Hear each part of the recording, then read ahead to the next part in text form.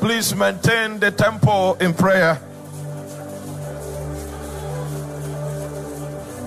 For we have found a place, a place of refreshing in the spirit. Maintain the tempo. We found that place. We found that place. We found that place. Mila delimo sante. Mosquito brelo hombeli mantaya. Yama ala orena sila endomo. Resco falis kete mohonde babaria. Yamo telimanzeli. Ruka baba sento ramaya. Oh. Iale mokoria biskantele. Ruma kande boske tamina kadia. Ratabonde esquito prelo cabelaito. Thank you, Lord. In the name of Jesus.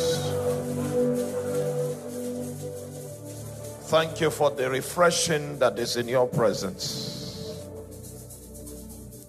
Thank you for the grace that you bestow upon us when we draw nearer. Thank you for the blessing of turning our hearts into words and adorning you for the privilege, for the honor. Thank you, Father. In the name of Jesus. Amen. Now, we are going to sit and take a shot from the Word of God for 30 minutes. You may be seated. Turn your Bible to the book of Luke, chapter 4.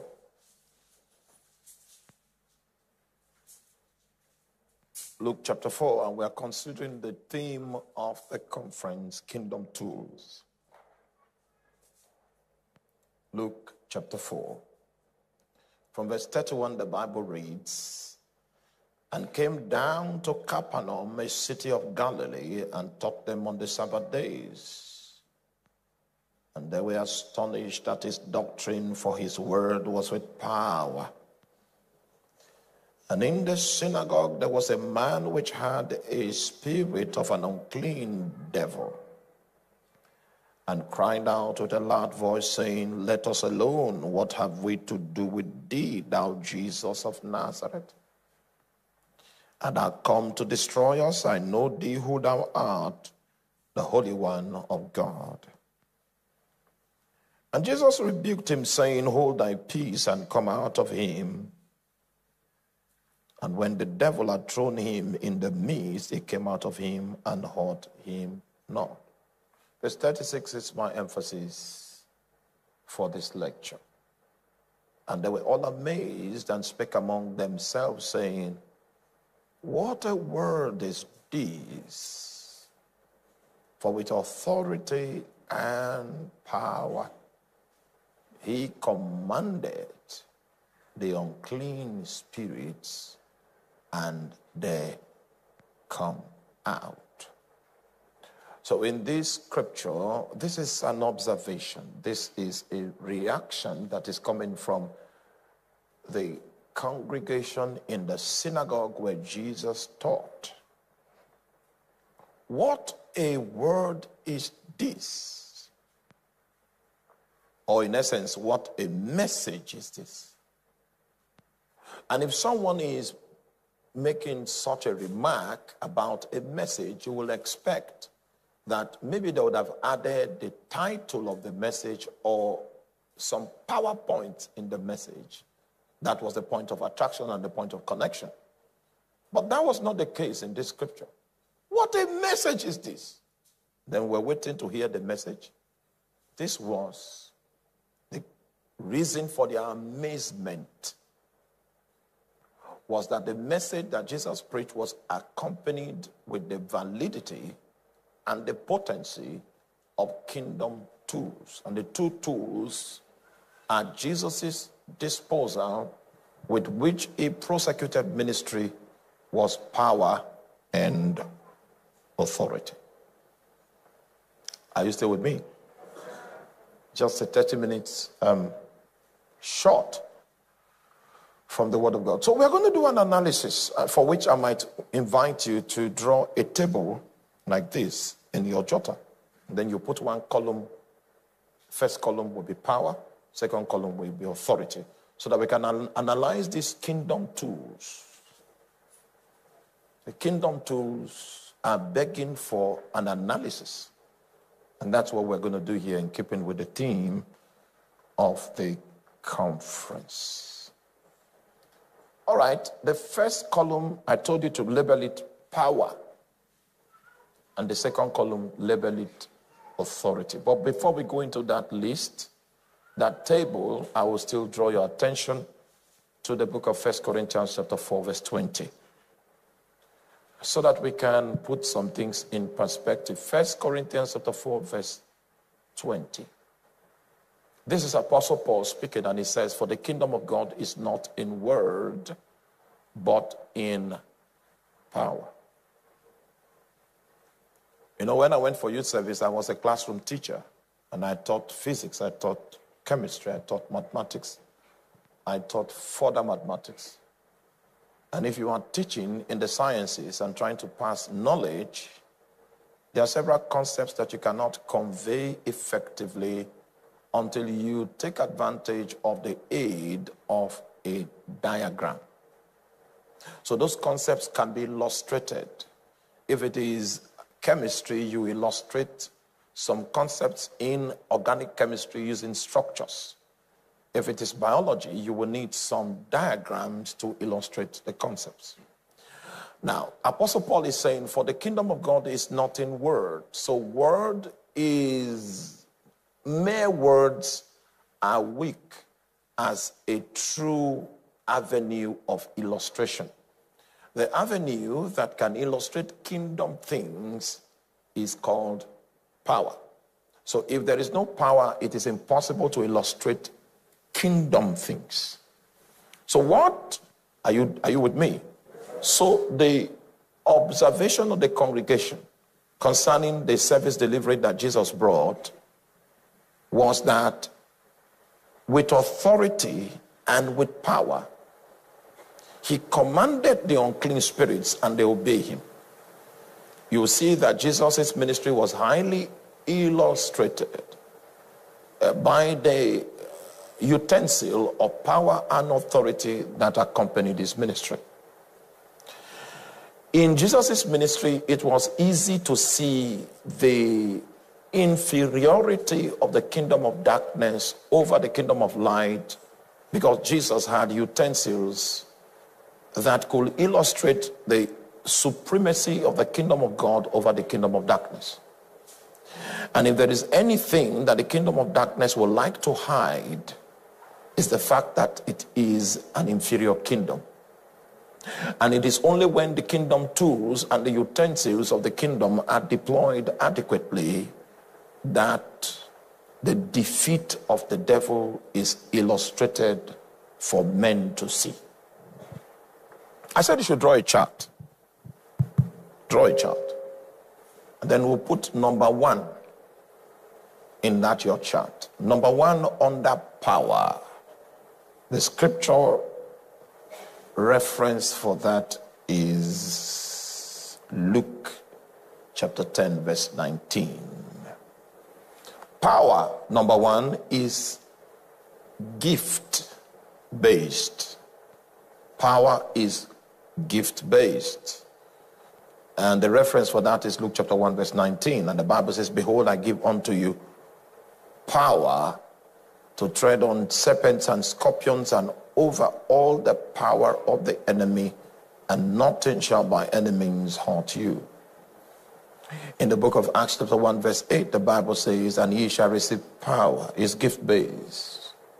After that, the Holy Ghost is come upon you, and ye shall be witnesses unto me, both in Jerusalem and in all Judea, and in Samaria, and unto the uttermost part of the earth. So, power is gift based.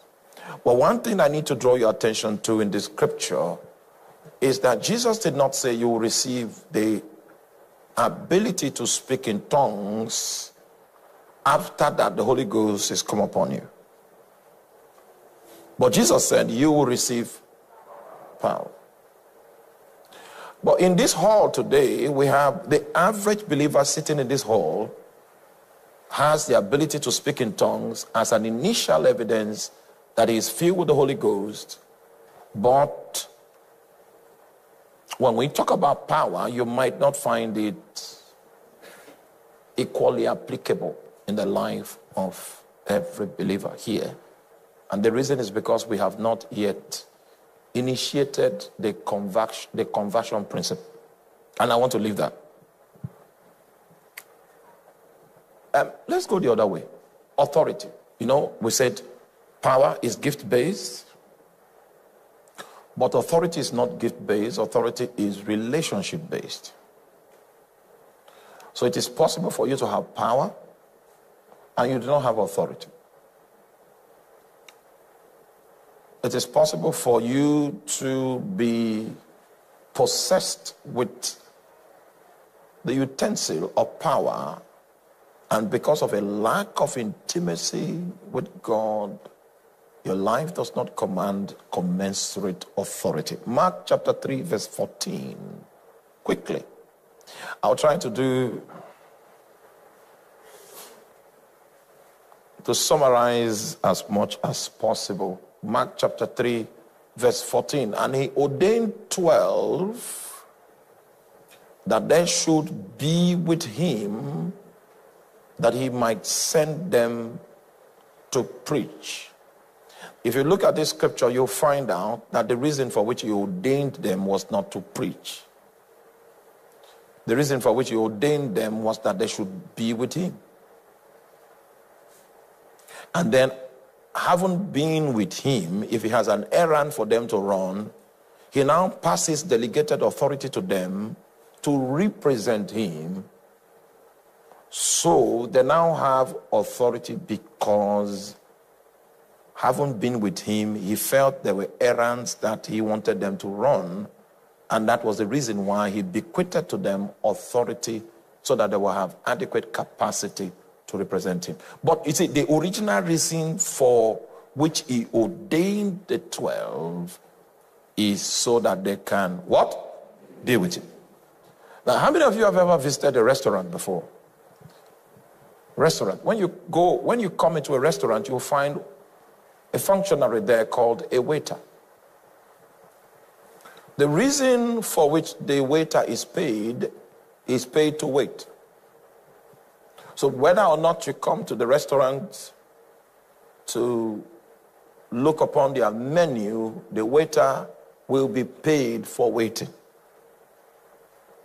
That's what he's paid for, and that's why he's called a waiter. That's what he does. But when you come and you need service, the waiter is deployed to attend to you and to bring your order. But the original reason for which the waiter was there was still existent before you came. He was still doing his job before you showed up. And that's why he's called a waiter. So everyone that decides to wait on Jesus, everyone that decides to be around Jesus, everyone that decides to be present with Jesus gets this privilege again and again to be sent to represent him. And the reason why they can be sent to represent him in the first place is because they share this rare privilege of being around him. It is when Jesus now begins to commission you to represent him that he gives you authority. So if you see a man that has genuine authority, he has something with Jesus. And that was what Peter was speaking about at the gate called Beautiful when he looked upon the guy that was crippled and impotent in his feet and said unto him, Silver and gold I do not have, but what I have I give you. So he was saying, I don't have money, I don't have naira, I don't have kobo, but I'm not empty there is something that I have with Jesus.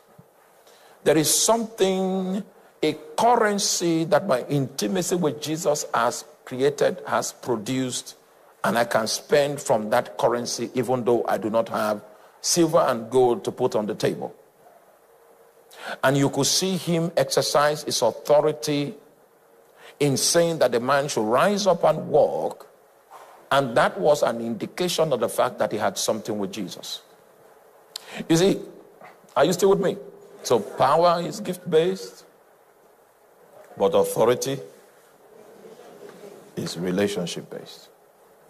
If we see you wielding authority, we know that you have been with Jesus. Whereas much younger preachers like power. And I will tell you what.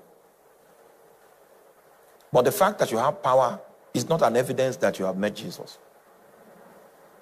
In fact, Satan, Satan was cast out of heaven, and God did not even care to withdraw his power from him. And so Jesus still acknowledges in the book of Luke, chapter 10, verse 19, he said, Behold, I give unto you power to tread upon snakes and scorpions and over what? All the power of the enemy. God did not bother to retrieve the power that Satan had when he fell. And the Bible acknowledges that Satan has power. Are you still with me? So you, the fact that you have power is not a sign that you know Jesus. It's not a sign that you are intimate with Jesus. But authority is different. If you have authority, it cannot come from any other source apart from the one unto whom you have made acquaintance. Are you still with me? Okay, number two, power is noisy, is boisterous. Power is a marketing tool, is a means of gaining attention. For instance, if we go to a village, anywhere the village may be, and we need some attention because we need to preach the gospel, so we need to generate attention. That's what we did in Brazil, in, in Sao Paulo, me and my friend. I said, okay, I don't understand Portuguese. He said, he knows Portuguese. I said, all right. And we're in the middle of the market. Then I stopped one man and I told him about his problems. And the guy interpreted. And then I told him about another problem. This guy interpreted. And before we knew it, he was willing to give his life to Christ. We went to the shop where they were there people who just point somebody, I will tell you about your problem. Then this guy will interpret. And before you know it, we got the attention of the market in Sao Paulo, in, in Brazil. And one of the guys that gave his life to Christ, his idol was upstairs. So when we led him to Christ, he couldn't go back into the shop. He says, idol will punish him. I said, ah, okay, where's your idol? upstairs?" I said, can you allow us go there and show you that your idol is nothing? He said, the idol. I said, Hallelujah. Give you, we won't preach to you. We won't say, talk about Jesus first. We just tell you something about your life. If you are still arguing, we'll give you another one, give you the third one, give you the fourth one. Then when you now say, okay, yes, something is speaking to you, then that thing that is speaking to me is called Jesus. You know, begin to talk about Jesus. And then the discussion prospered. It prospered in that market, and we created pandemonium in the market. There was no banner, there was no um, handbill, but uh, we, we were able to attract the attention of the people. So it's a marketing tool. Power is noisy, power is boisterous. And that's the example of what you have in the book of Acts, chapter 5, verse Acts chapter 8, verse 5 and 6. Please, if you have that scripture, let me have it on the screen. Acts 8, 5 and 6. I know, I know that um, we like order. King Scott is a very orderly church. Uh, this is my second visit, and it's Yes, it's, it's high on excellence, high on service delivery.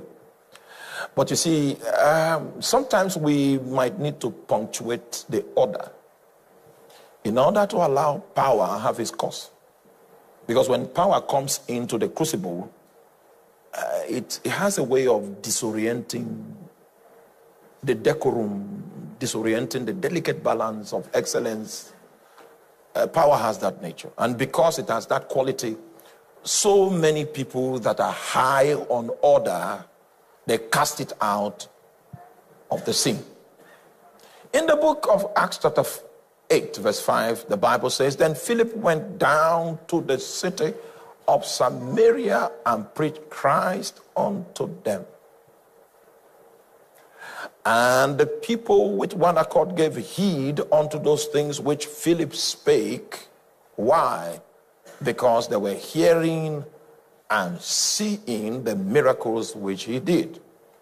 So the ministry of Philip had audio and he had video. There were things to hear, there were things to see. That's the kind of thing that happens when power touches down. Hallelujah. It's, boisterous. Even, the, even someone that doesn't, is claiming not to be interested in the thing, is because power has not come. When power hits down, the attention of everyone will be gotten. Hallelujah. So the Bible says that the ministry of Philip was characterized by things that were available for hearing and seeing, which were all occasioned by the Holy Spirit. Hallelujah. Seal under number two, under the authority section, whereas power is boisterous and power is noisy, authority is judicial in nature. Luke chapter 13, verse 11 to 16. I think after this, I will rest my case. Hallelujah. We have, oh, that's my time. Hmm. I have 23 minutes. Okay, that's, that's, a, that's a good development. And behold, there was a woman which had the spirit of infirmity 18 years and was bowed together and could in no wise lift up herself. And when Jesus saw her, he called her to him and said unto her, Woman, thou art loosed from thine infirmity. And he laid his hands on her, and immediately she was made straight and glorified God.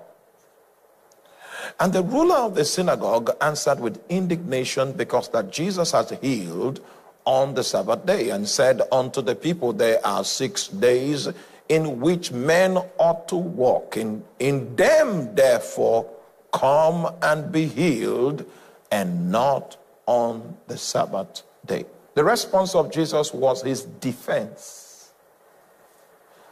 And the meat of what I want to communicate on this emphasis is drawn from the defense that Jesus made available when he was questioned why he healed on the Sabbath day.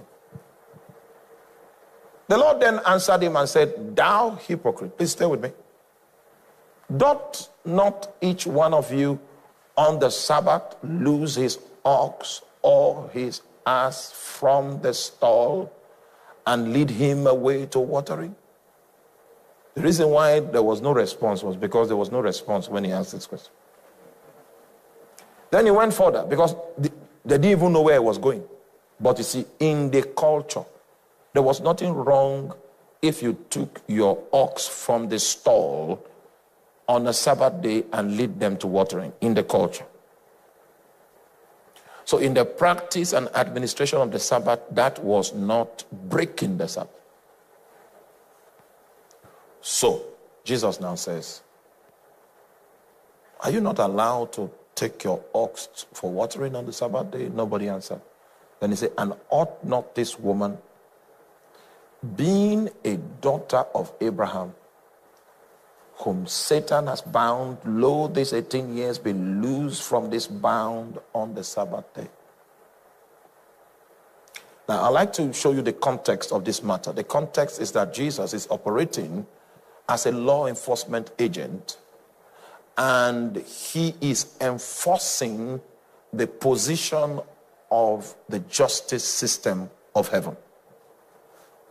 And the utensil that he uses to enforce the position of the justice system of heaven is authority. The situation here is very judicial. First of all, Jesus comes upon the scene, and during the time of his presentation, he was able to understand what was wrong with the woman without a diagnosis. In medical parlance, the situation that the woman was suffering from is, is curvature of the spinal cord. And there are supposed to be x rays that would have been done in order to see how many the units of the spinal cord of, of the, the spine that were affected that led to the curvature of the spine. And they did not ask for a chiropractor. Those people that know how to make cracks on the backbone. Jesus discerned that the thing was not natural. His own diagnosis came through the gift of discernment of spirit, and he was able to identify it as the spirit of infirmity. Are you still with me? Notice that the demon that was responsible for her curvature of the spine never went for lunch break for 18 years. To show you how hard working demons can be when they are assigned.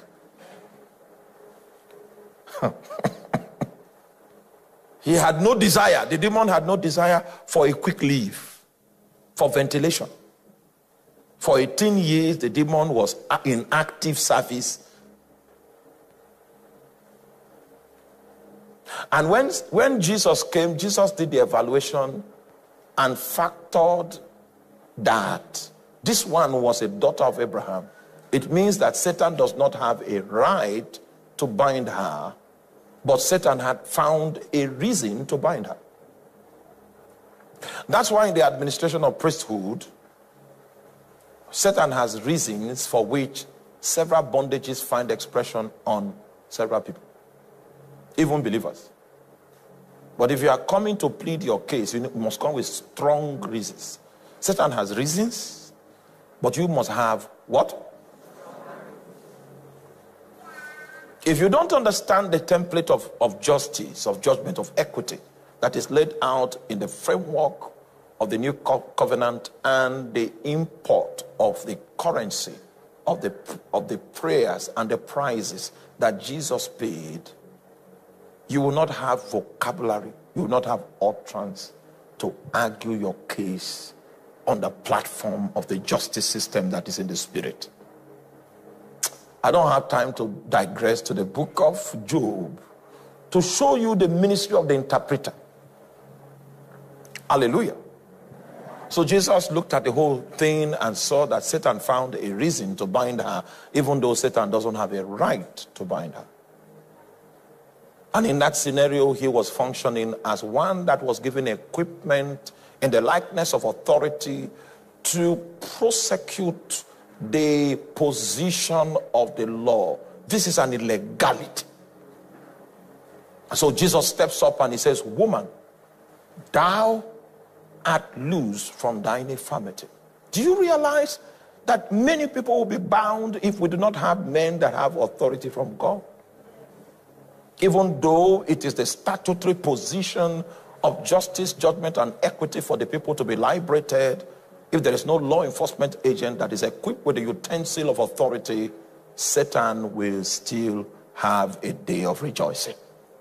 And that's why you need to uh, be challenged to step up in the ladder of your calling so that you too can become one of the functionaries that Jesus can trust with his authority. For you to be a defender of the position of justice according to righteousness. If you are still with me, say, Amen. Amen. Now, even though the lecture has not finished, we will stop here for now. So that we can pray in a moment.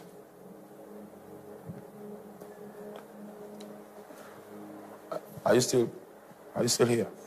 Please don't go to sleep. Don't go to sleep. This is a critical matter. The law enforcement agent. Darkness will continue.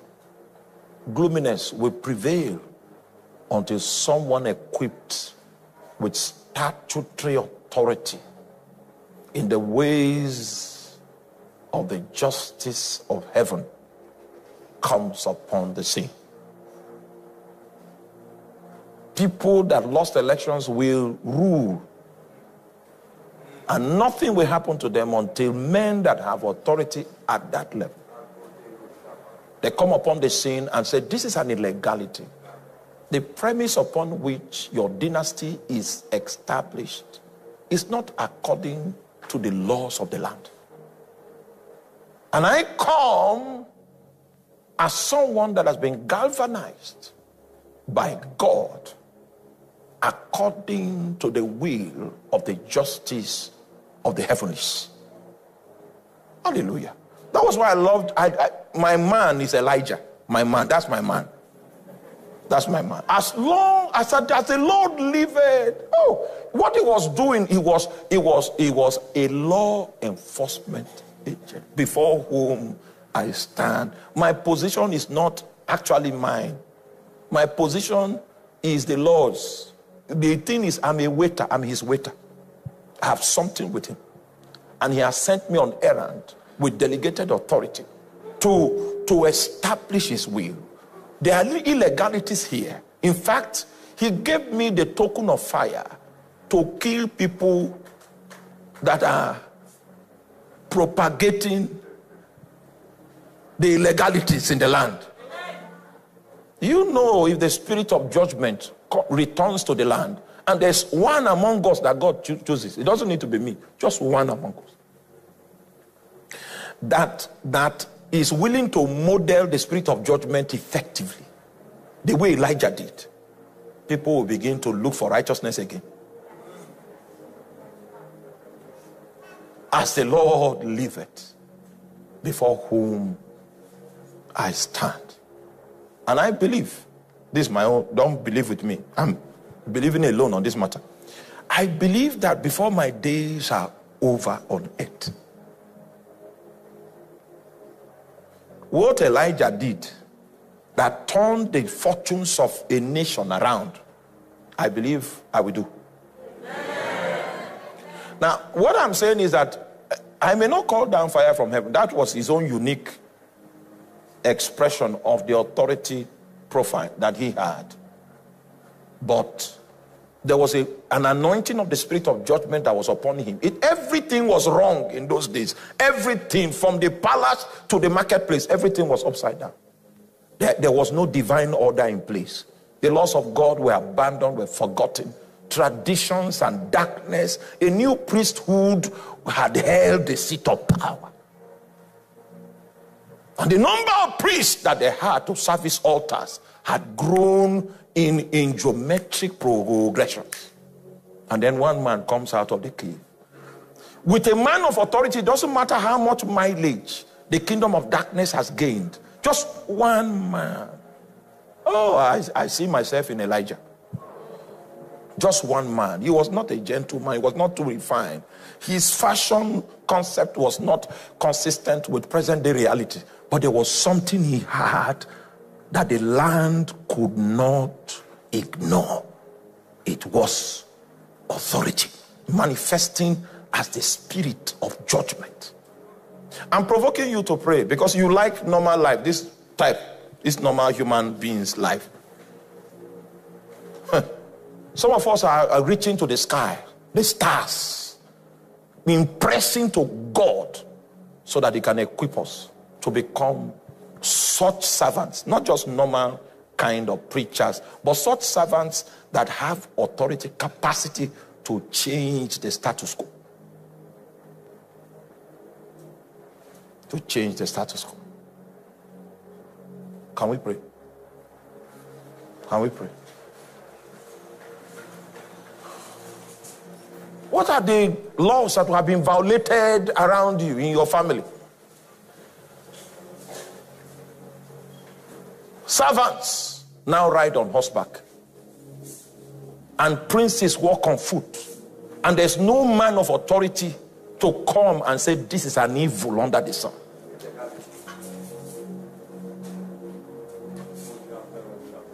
What, what illegality have you endured? Because you are lacking in authority to enforce the will of God. Tonight, we want to rebel against the devil. Oh, my Selah. Elijah the Tishbite. You know, I like his entrance. His introduction was brief, not like not like Nicodemus of the New Testament. There was a man of the Pharisees named Nicodemus, a ruler of the Jews.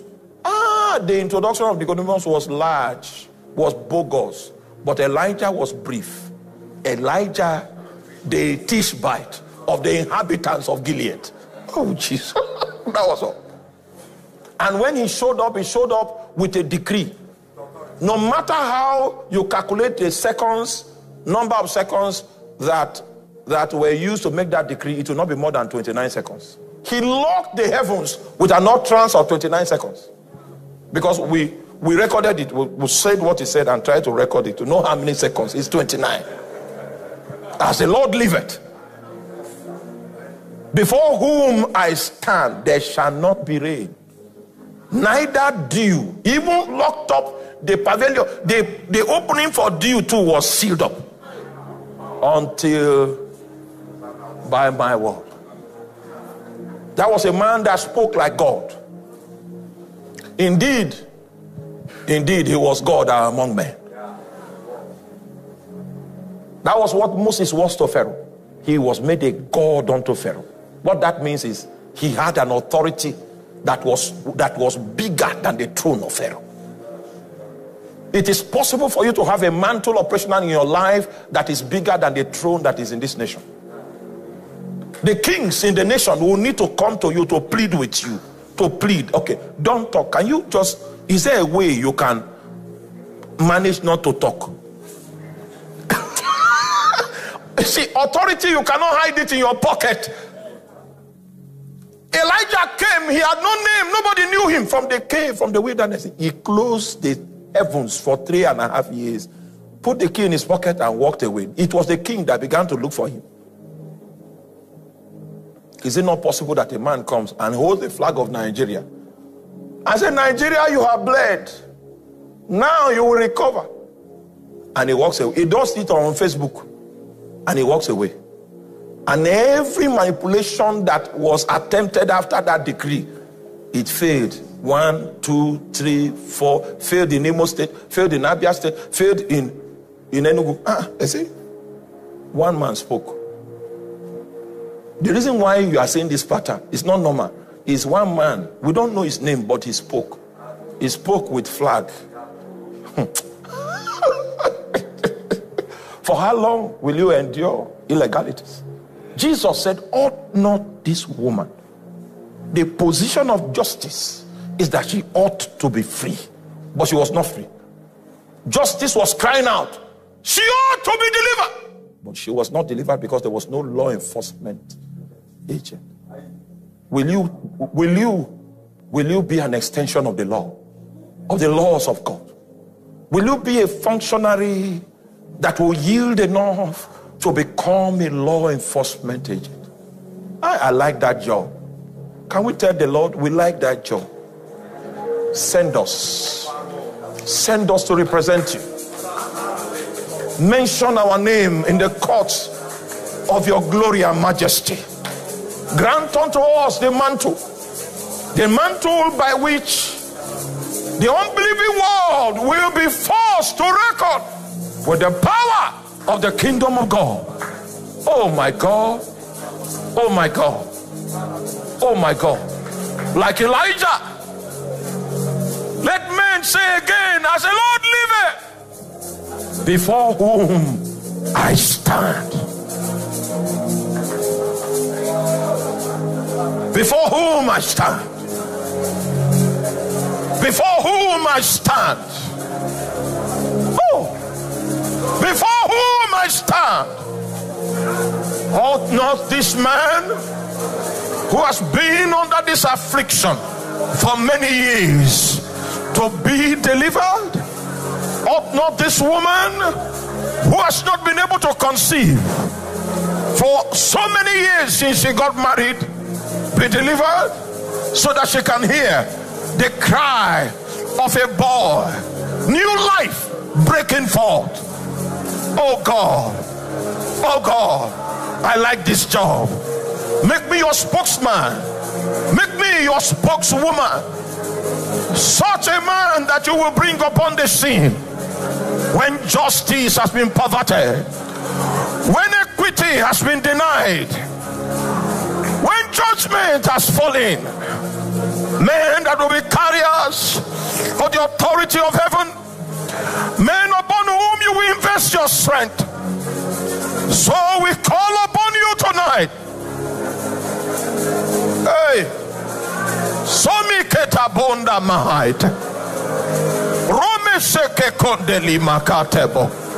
Rakoska bandelaya. Rakoske somanta baboko bositele. Yale boria skita branda bakontemi. Yale boria braskida. Aiko me kabako de buse kabakundali. Akode kentoria. Abrisco fela bonda samina itete. Randa babo sakabo. Rabesco tela. Rakante baboge bakudia. Askedo bonde breskete baboko talia. Abande keke. Ricos kabakondo. Ma ais kombamina. Kila branda baboke skalatala. This woman to be delivered? Ought not this family to be delivered? Put something upon our lives. Let your mighty hand rest. Let your mighty hand rest. Let it rest. Let it rest upon me. To make a statement for God, we will need the tools of the kingdom, the utensils of the kingdom. We will need power. We will need authority. Father, Father, make us law enforcement agents.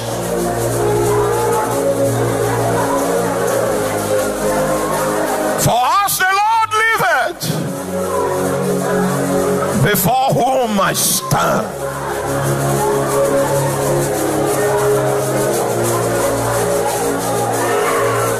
Authority to break free from the limitation that was placed upon the family because of the use of witchcraft and because of iniquity.